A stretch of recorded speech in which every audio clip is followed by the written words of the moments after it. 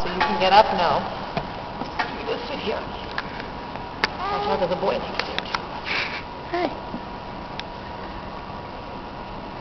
Taking a picture of the tree with his camera. Home. You. It's fall now, see? Or autumn. All the leaves have changed on the tree again. What's? The little boy doesn't want you in his picture? Oh, it's fine. I'm taking a video, actually. Oh, okay. You don't want to end up on YouTube, Daniel.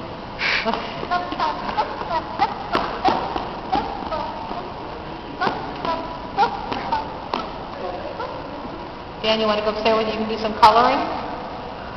Would you like that? Come on. You gotta come with mommy then. Come with me.